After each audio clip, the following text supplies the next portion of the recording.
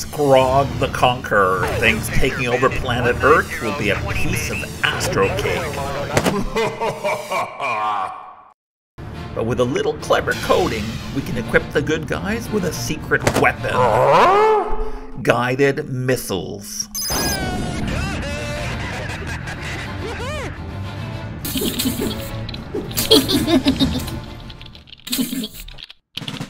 counter the alien threat, we need a missile design with three important characteristics. First, we need them to spawn from all directions so the aliens can't see them coming. We also want them to be smart enough to track enemies as they zip back and forth across the screen. And lastly, we want our missiles to be able to lock on and put on a burst of speed when they sense they're close to their target. So our first goal here is to make missiles spawn randomly at the edges of the screen. The approach that most new scratchers try is to randomly pick between the four edges of the screen and then place our missiles differently depending on which wall we start at. This ends up being a lot of code, but fortunately there's a better way. What we're going to do is place our missile in the middle of the screen and spin it around randomly before teleporting it to the edge of the screen.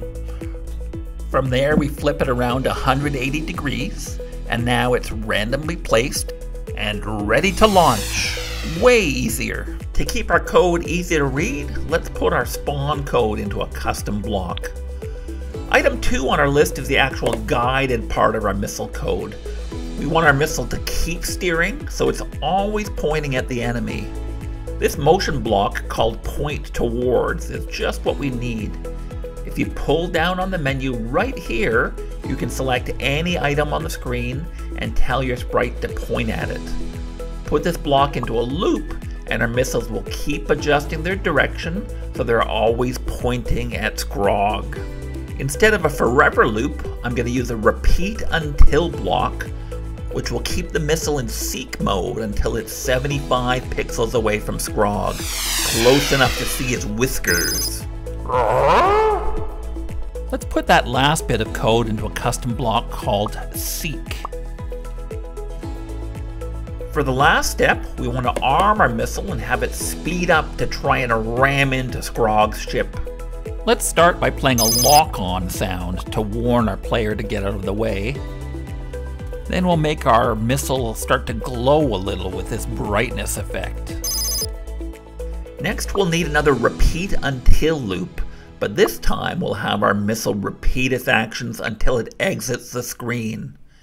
Inside this loop, we'll tell our missile to speed up to a movement of 5, and we'll tell it to start checking to see if it's colliding with our UFO.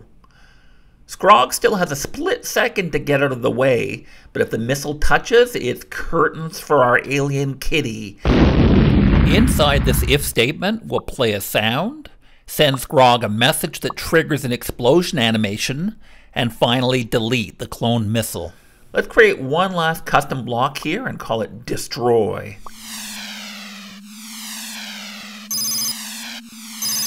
Well, Skrog had enough time to bail from his exploding ship, but it looks like human ingenuity has saved us once again. Check out the full game on our Scratch account at Atomec Studios and see how long you can survive.